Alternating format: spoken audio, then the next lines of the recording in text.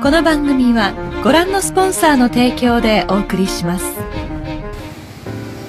乌来，我们第一个想到的就是温泉，而乌来对我们钓鱼人来说是钓苦花的天堂，因为乌来有着一条孕育大苦花的南势溪，因此许多钓鱼人为了享受大苦花的拉力， 总是沿着陡峭的山径下切一百来米的溪谷。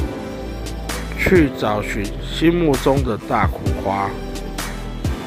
好久没有来这里钓鱼了，看到这样的山林景色，真的很舒服。偶尔也要逃离一下城市的喧嚣，让自己沐浴在大自然之中。看着这个潺潺的溪水，不晓得下面躲了多少的大苦花，正在等待着我们一探它的真面目。好了，赶紧下看吧，苦花还在呼唤我呢。钓苦花就是这样，不断的往上游抛去，下游拉回，如此重复，直到大苦花上钩。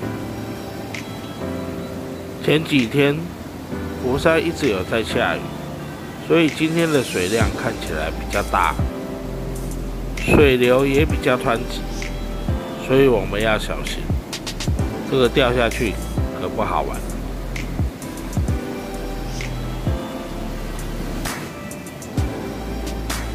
来呀，有鱼呀！哦，拉力不大，马口一只啊。湖山这边钓到的马口鱼都还算蛮大只的。不过这只体型还算小，还有更大的。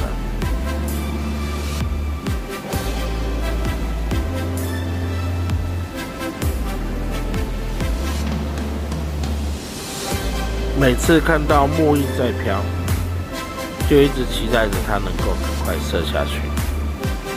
不过今天水量大，五花能跑的地方也比较多。按照刚才中鱼的位置。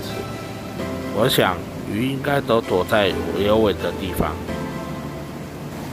有时候就这样呆呆的看着木印，脑袋空空的，也没有去多思考什么，总是会在这个瞬间，鱼就突然上钩了，但也会有时候就这样漏失掉了一个鱼群。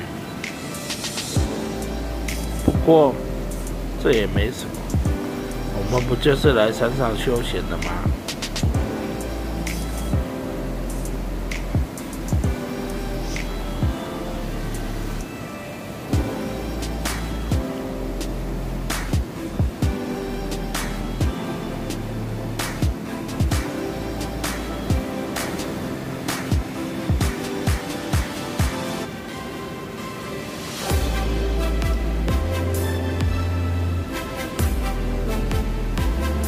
来呀，钓鱼呀！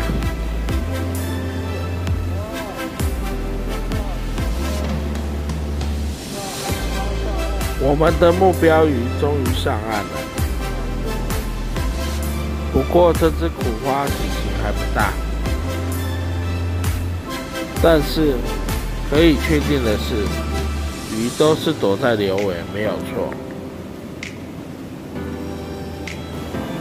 来。我们继续看看下一只会不会是大苦瓜。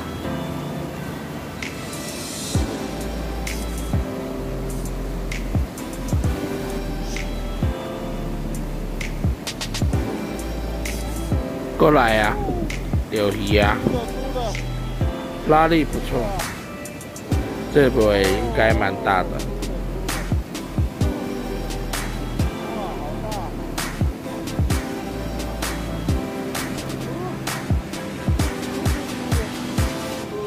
果然是一只漂亮的大苦瓜，看看这个美丽的身影，就觉得很快乐。再看一眼，我们就把它放到鱼篓吧。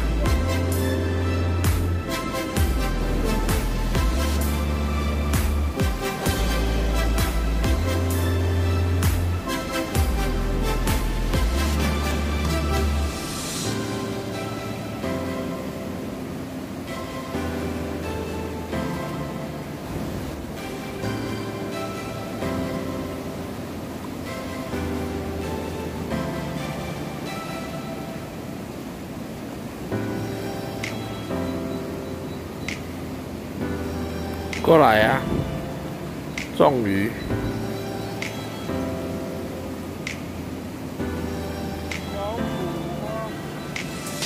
小苦花一只。以前在外双溪钓的时候，都一直觉得这个还蛮大只的。自从来过福山，就觉得外双溪的苦花体型真的很小，大只的。可能是我技术不好吧，所以我很少在外双溪遇到大雌花。说到外双溪，我记得以前小时候常常跟朋友去外双溪烤肉、钓鱼，那一段时光真的也是蛮快乐的。吼，好大力，中鱼了！这一只一定是粗的。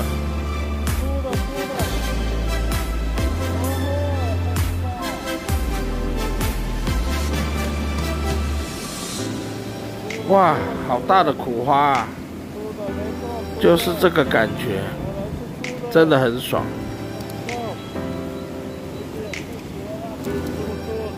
就是这个美丽的身影，让我对福山有着很大的期待，也让我一来再来，也不厌倦。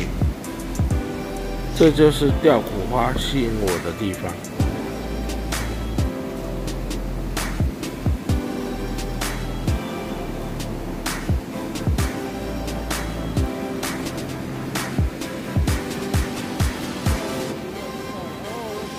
又中鱼了，还是苦花，这只体型也不错。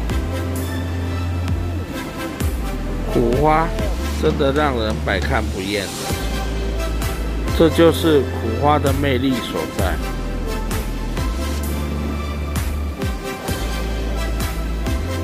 有个钓鱼啊！这次是一只马口鱼，还蛮大只的。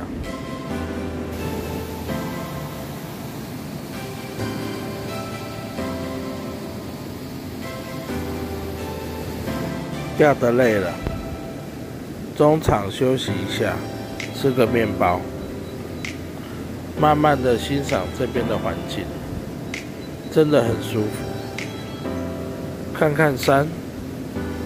看看溪水，看看网子里的苦花，没错，就是这种感觉，就是这种悠闲的感觉。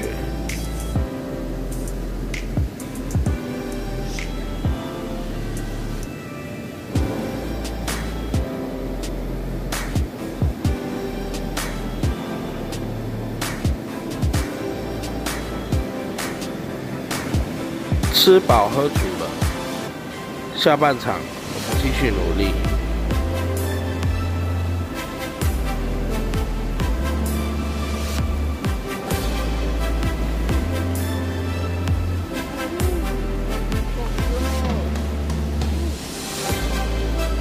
中鱼了，又是一只大苦花。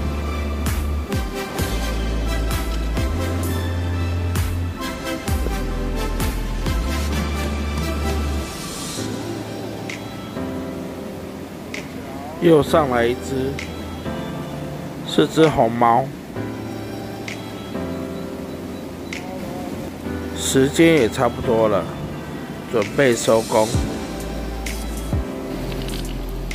今天钓的不多，没关系，有钓到就好了。最重要的是有拉到大苦花，好了，今天的影片就到了这边。喜欢我的影片的朋友，请记得订阅、按赞、分享、加留言哦。我们下次再见啦，拜拜喽。